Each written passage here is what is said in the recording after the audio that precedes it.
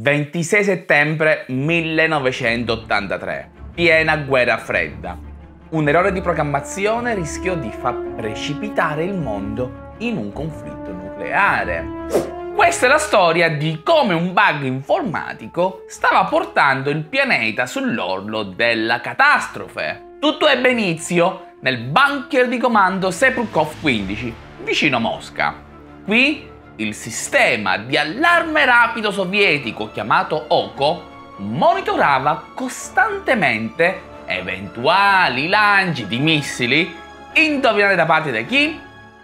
Gli Stati Uniti. Quella notte il tenente colonnello Stanislav Petrov era l'ufficiale di turno. Il suo ruolo era quello di valutare le segnalazioni del sistema e, se necessario, informare i suoi superiori di un potenziale attacco.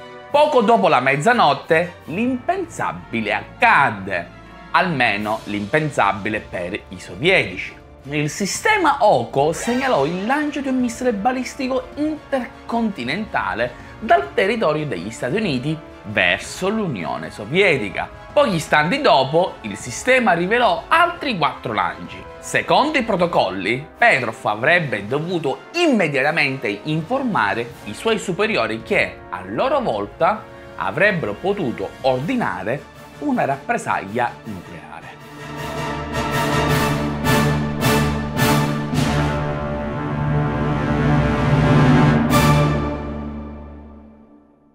Tuttavia, le cose non quadravano a Petrov.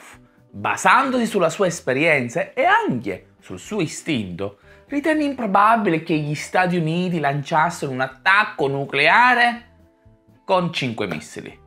Un vero attacco nucleare avrebbe previsto un bombardamento massiccio con decine, se non addirittura centinaia di testate nucleari per neutralizzare la capacità di risposta dei sovietici. Ora immaginatevi voi di essere là a controllare la sicurezza della tua nazione e il sistema che si occupa di vigilare indica una potenziale minaccia nucleare. Credo che solo questo meme possa descrivere al meglio cosa provava quell'uomo in quei momenti.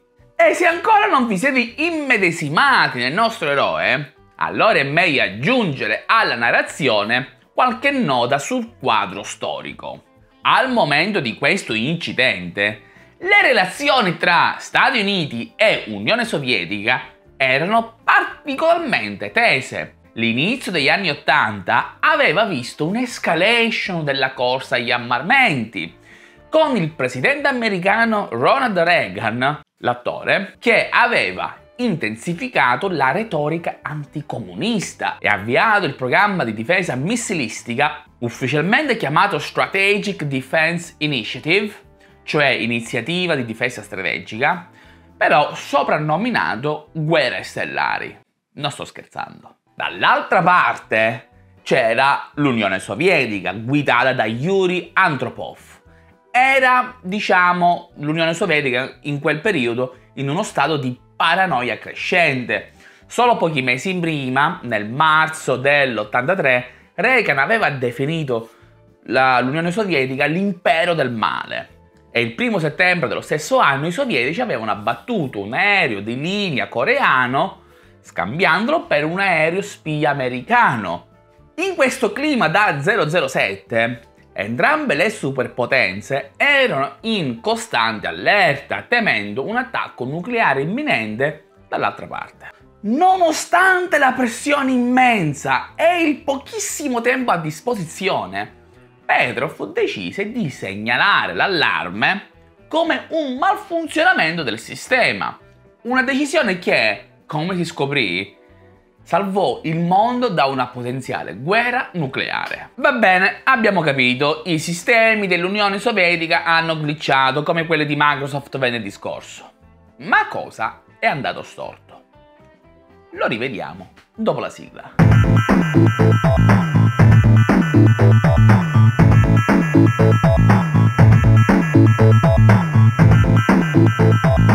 Benvenuti e ben ritrovati pinguini in questo nuovo video di FK Storia. Io sono Valerio e oggi vi racconto di un bug informatico anni 80 che poteva portare la civiltà umana ai tempi del Neolitico. Prima di proseguire, lasciate un like, cliccate il magnifico tasto iscriviti per supportare questo meraviglioso canale e se volete potete offrirmi un caffè virtuale tramite Coffee. Il link lo troverete in descrizione e ringrazio tutti coloro che lo hanno già fatto. Prima o poi con le vostre donazioni ci farà qualcosa, per il momento sta tutto là. Alla fine di questo video aggiungo una piccola chicca, quindi rimanete proprio incollati fino alla fine. E adesso riprendiamo. Cosa aveva fatto scoglionare i sistemi dell'Unione Sovietica? Le analisi successive rivelarono che non c'era stato alcun lancio di missili da parte degli Stati Uniti. Il sistema OCO aveva malinterpretato un raro fenomeno ottico,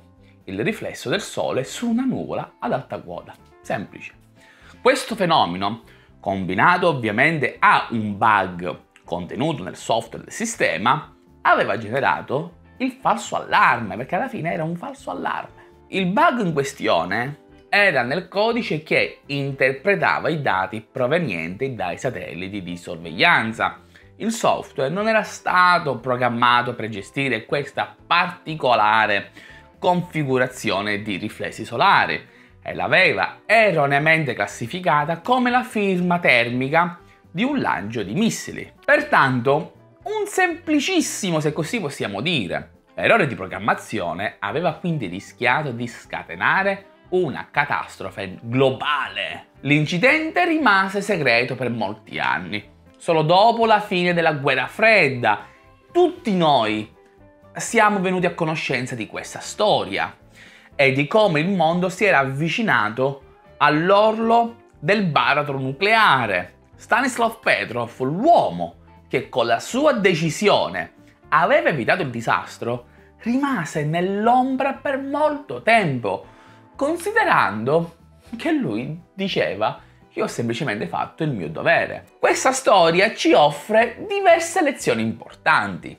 In primo luogo evidenzia la vulnerabilità, diciamo, dei sistemi tecnologici, anche quelli considerati più sicuri e affidabili. Date un'occhiata a Microsoft. Un semplice bug di un software critico può avere conseguenze potenzialmente catastrofiche. In secondo luogo, questa storia sottolinea l'importanza del giudizio umano nell'era tecnologica avanzata. Nonostante i sofisticati sistemi, la capacità di ragionamento critico e l'intuizione rimangono comunque fondamentali. Ma cosa ne è stato di Stanislav Petrov? Quello che molti considerano un atto eroico rimase sconosciuto, come dicevo poco fa, al mondo per molti anni. La sua azione non fu mai riconosciuta dai suoi superiori, anzi fu inizialmente criticato per non aver compilato adeguatamente la documentazione relativa all'incidente. Quando la storia venne alla luce,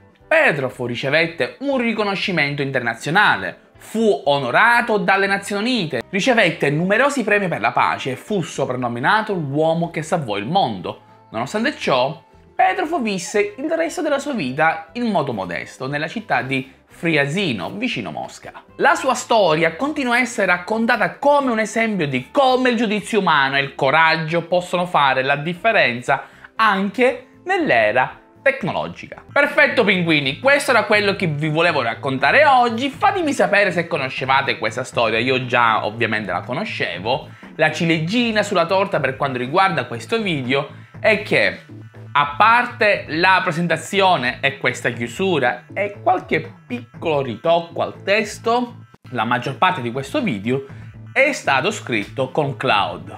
Perché? Due motivi principali. Uno, lo volevo provare. Due, scrivere un video con un'intelligenza artificiale che parla dell'importanza del fattore umano e, non lo so, ha qualcosa di poetico, una sorta di una specie di ossimolo. Fatemi sapere se avevate intuito che questo video non era stato scritto da un umano come me e noi ci vediamo alla prossima. Ciao Kiro!